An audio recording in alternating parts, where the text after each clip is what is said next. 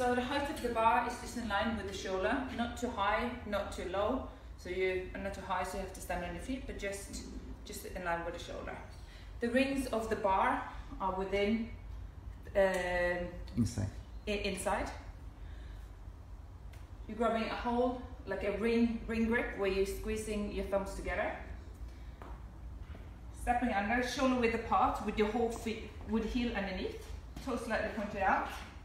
You find in the position of the bar, not on your neck, not too low, just on the top of the shoulder. We have like a hollow. You should actually be able to lift the bar. We're not going to do it for health and safety, but you should be able to lift the bar and you know for it to, to rest there if you find the right the right spot. So it's basically on your tracks.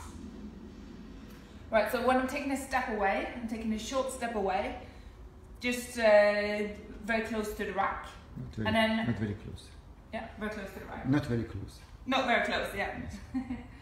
okay, shoulder blades together, elbow pointing straight down, abdominals tight, I'm coming up.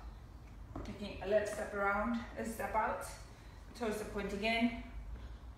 I take a good deep breath, holding my breath on the way down, and then driving up, pushing the knees out. The Feet, knees, feet supposed to be.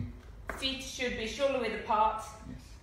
and the knees should be line with the mid toes, and keeping the, the, the weight of the ball on my mid foot.